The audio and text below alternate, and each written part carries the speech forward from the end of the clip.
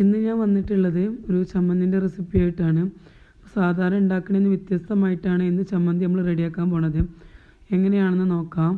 അതിന് വേണ്ടിയിട്ട് ഞാൻ അര കപ്പ് മുളപ്പിച്ച ചെറുപയർ എടുത്തിട്ടുണ്ട്. അതുപോലെ മൂന്ന് പച്ചമുളക് ഉപ്പ് ആവശ്യത്തിന്. തേങ്ങ ഒരു അരമുറി ചിരകിയതാണ് ഇഞ്ചി വെളുത്തുള്ളി. ഇഞ്ചി ഒരു വലിയൊരു കഷ്ണം എടുത്തിട്ടുണ്ട്. അതുപോലെ കുറച്ച് വിനിഗറും. അപ്പോൾ ഇതെല്ലാം കൂടി ചേർത്തിട്ടാണ് നമ്മൾ ഇന്ന് ചമ്മന്തി അരക്കാൻ പോണത്. അപ്പം എല്ലാവരും വിചാരിക്കും എങ്ങനെയാണ് പയറ് മുളപ്പിക്കുക എന്നുള്ളത്. പയറ് മുളപ്പിക്കുക എന്നുള്ളത് സിമ്പിളായിട്ടുള്ളൊരു കാര്യമാണ്. ഒരു നാല് മണിക്കൂർ നമ്മൾ ചെറുപയർ വെള്ളത്തിൽ കുതിർത്ത് വെക്കുക. നാല് മണിക്കൂർ കഴിഞ്ഞതിന് ശേഷം ആ വെള്ളം ഒന്ന് ഊറ്റി കളഞ്ഞിട്ട് അതുപോലെ ഒന്ന് അടച്ചു വെച്ചാലും വൈകുന്നേരം ആകുമ്പോഴൊക്കെ മുളച്ചിട്ട് വരും. അങ്ങനെ അല്ലാന്നുണ്ടെങ്കിൽ ഒരു തുണിയിൽ ഒരു നാല് മണിക്കൂറോളം കെട്ടി വെച്ചാലും പെട്ടെന്ന് മുള വരും. അപ്പം ഇങ്ങനെ രണ്ട് രീതിയിൽ നമുക്ക് പയർ മുളപ്പിച്ചെടുക്കാം.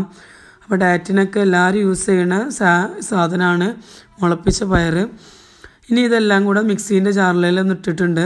അപ്പം തേങ്ങ അതുപോലെ ചെറുപയർ മുളക് ഇഞ്ചി വെളുത്തുള്ളി ഉപ്പ് ആവശ്യത്തിന് വിനിഗർ ഒരു ടേബിൾ സ്പൂണാണ് ഞാൻ എടുത്തിട്ടുള്ളത്. അപ്പം ഇൻഗ്രീഡിയൻസിന്റെ ലിസ്റ്റിൽ പറയാൻ വിട്ടുപോയൊരു കാര്യമാണ് പുതിനയില അതുപോലെ ചപ്പ്. ഇതൊരു രണ്ട് മൂന്ന് അല്ലി എടുത്തിട്ടുണ്ട്. ഇതെല്ലാം കൂടെ ഒന്ന് അരച്ചെടുത്തതാണ് ഞാനിപ്പോൾ ഈ കാണിക്കുന്നത് അപ്പം ആ വീഡിയോ ഒന്ന് കട്ടായിപ്പോയി. അപ്പം നമ്മളുടെ ചമ്മന്തി ഇവിടെ റെഡി ആയിട്ടുണ്ട്. ഇന്ന ഇന്നത്തെ വീഡിയോ നിങ്ങൾക്ക് എല്ലാവർക്കും ഇഷ്ടമായെന്ന് വിചാരിക്കുന്നു. അപ്പം ഇനി ചമ്മന്തി ഉണ്ടാക്കുമ്പോൾ ഇങ്ങനെയൊന്ന് പരീക്ഷിച്ച് നോക്കുകൊണ്ടു നല്ല ടേസ്റ്റി ആയിട്ടുണ്ടാവും. അപ്പം എന്റെ വീഡിയോ ഇഷ്ടപ്പെട്ടാൽ എപ്പോഴും പറയുന്നതാണ് ലൈക്ക് ചെയ്യുക അതുപോലെ നിങ്ങളുടെ ഫ്രണ്ട്സുമായിട്ടൊക്കെ ഷെയർ ചെയ്യുക. വീണ്ടും നല്ലൊരു വീഡിയോ ആയിട്ട് നമുക്ക് കാണാം. അതുവരേക്കും എല്ലാവരോടും നന്ദി നമസ്കാരം. താങ്ക്